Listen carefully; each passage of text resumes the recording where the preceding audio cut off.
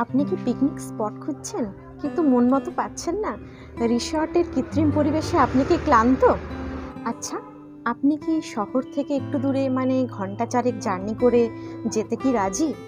তাহলে আজকের ব্লগটা আপনার জন্যই। Hello everyone, welcome back to my channel. আজকে চলে এলাম আরও একটা সুন্দর ব্লগ নিয়ে। এখন বাজে দুপুর দুটো, তো এখন থেকে আমি আমার ব্লগটা স্টার্ট করছি। আর আমি যে পিকনিক স্পটের কথা বলছি, সেটা হচ্ছে একটা ইকো ট্যুরিজম পার্ক তো যেহেতু আমি এখন বাপের বাড়িতে আছি, আর বাপের বাড়ির খুব কাছেই এই ইকো ট্যুরিজম পার্কটা আর আমার বাপের বাড়ি থেকে এই পার্কে যেতে সময় লাগবে মাত্র পনেরো মিনিট। কিন্তু কলকাতায় যারা থাকেন বা কলকাতা থেকে যারা আসবেন এই পার্কে তো তাদের সময় লাগবে চার ঘণ্টা।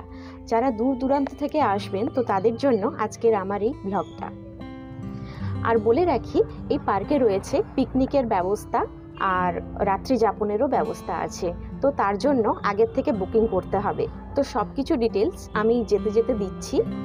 তো আমাদের এখন লাঞ্চ কমপ্লিট আমি আর তোমাদের দাদাভাই যাব এখান থেকে বাইক নিয়ে। আর আমার ফ্যামিলির কিছুজন যাচ্ছি।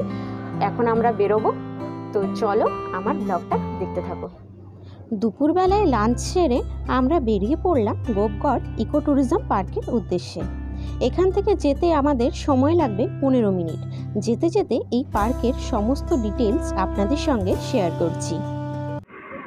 ঝাড়গ্রামের রোড আর এটা যাচ্ছে গোপাল।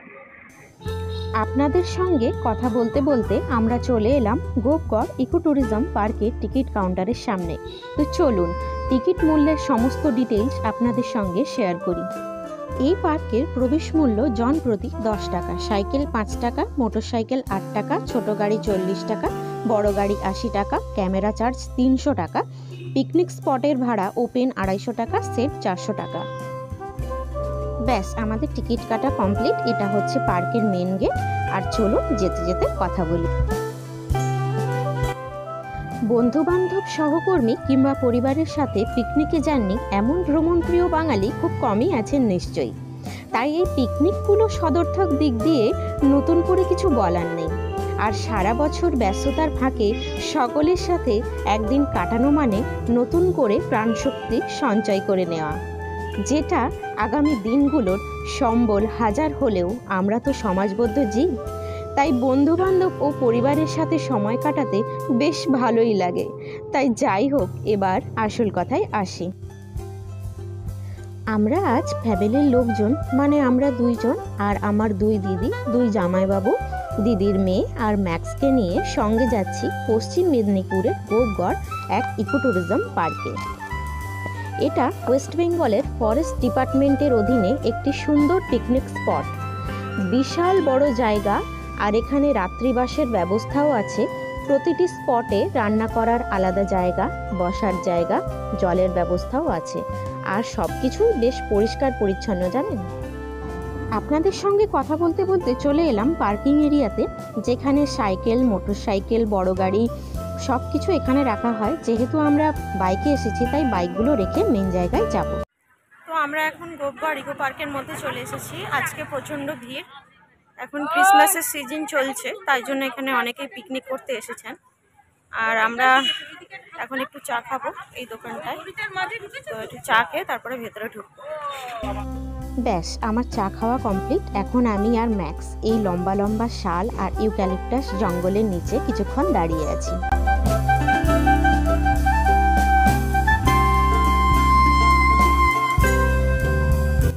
এখন পিকনিকের সিজন চলছে, তাই এখানে প্রচণ্ড ভিড়।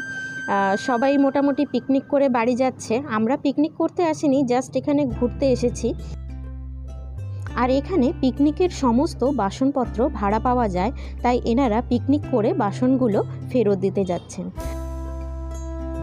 আর এখানে আপনারা যে এই সমস্ত জায়গাগুলো দেখতে পাচ্ছেন, এখানে আপনারা ট্রেকিংও করতে পারেন।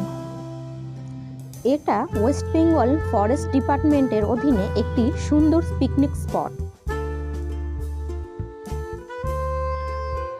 এবার চলুন গোপগড় ইকো ট্যুরিজম পার্কের মেন জায়গায় যেতে যেতে এখানে কীভাবে আসবেন সেই ডিটেলসটা আপনাদের সঙ্গে শেয়ার করি। কলকাতা থেকে সরাসরি গাড়িতে আসতে সময় লাগবে ঘণ্টা চারেক। না হলে বাসে করে আসতে হবে মেদিনীপুর বাসস্ট্যান্ড অথবা মেদিনীপুর রেলওয়ে স্টেশন। সেখান থেকে টোটোতে সময় লাগবে মিনিট পনেরো। আপনাদের সাথে কথা বলতে বলতে চলে এলাম ক্লক টাওয়ারের সামনে। আর এখানে যে দুটো মূর্তি দেখতে পাচ্ছেন এখানে একটা মূর্তি এখানে একটা মূর্তি তো এটা মেন রাস্তা ছিল। এটা হচ্ছে সুউচ্চ ক্লক টাওয়ার। চলুন সামনের দিকে এগিয়ে যাই।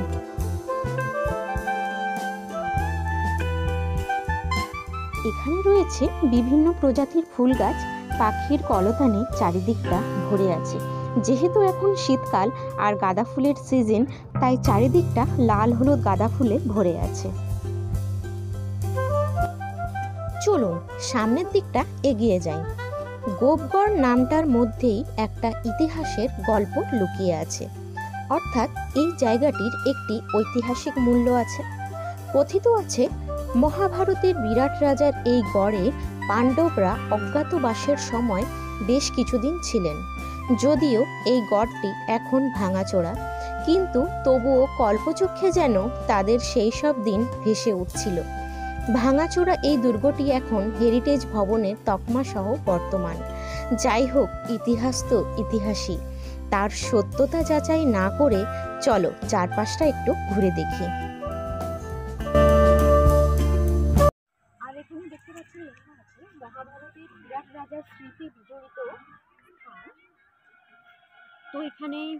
পরিষ্কার পরিচ্ছন্নতা বজায় রাখার জন্য বলা আছে। তো এবার একটু সামনের দিকে এগিয়ে যাই। এখানে একটা আমরা হাতি দেখতে পাচ্ছি।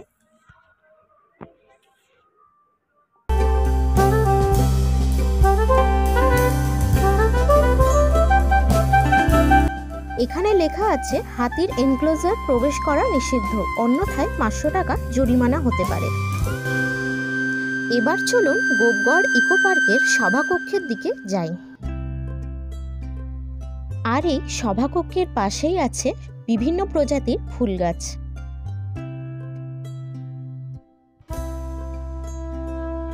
আর এইদিকে আছে বাচ্চাদের পার্ক। এই পার্কের মধ্যে আছে দোলনা, স্লিপারি। আর এখানে ছোট বাচ্চারা আসলে খুব এনজয় করতে পারবে।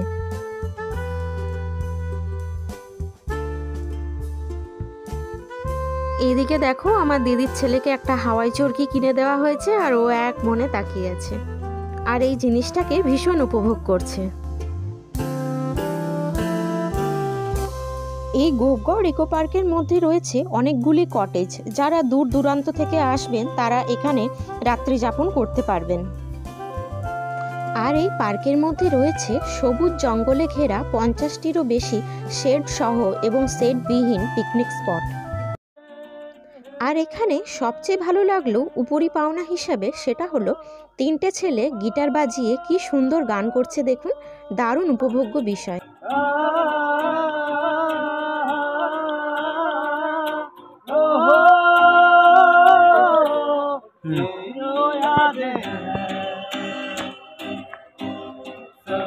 কাটে হ্যাঁ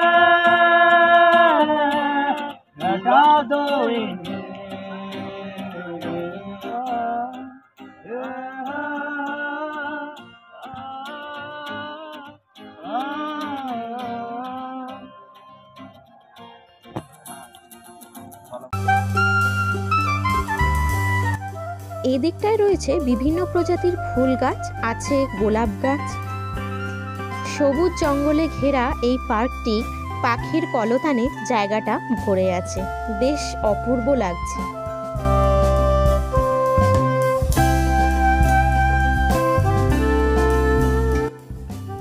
এখানে রয়েছে একটা সুউচ্চ ওয়াচ টাওয়ার যেখান থেকে মেদিনীপুর শহরের একটা অংশ দৃশ্যমান। তো চলুন, উপরে যাওয়া যাক।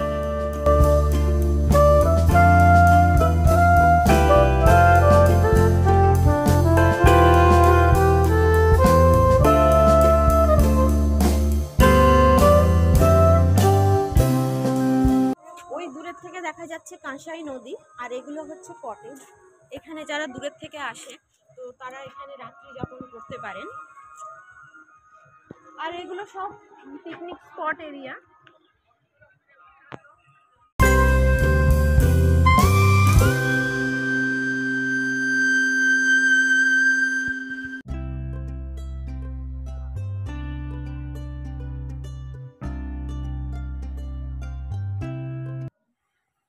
এখানে যে জায়গাটা দেখতে পাচ্ছেন, এখানে বোটিং করা হয়। তো আমরা আজকে আর বোটিং করব না। এখন প্রায় সন্ধ্যের দিকে এবার বাড়ি ফেরার পালা।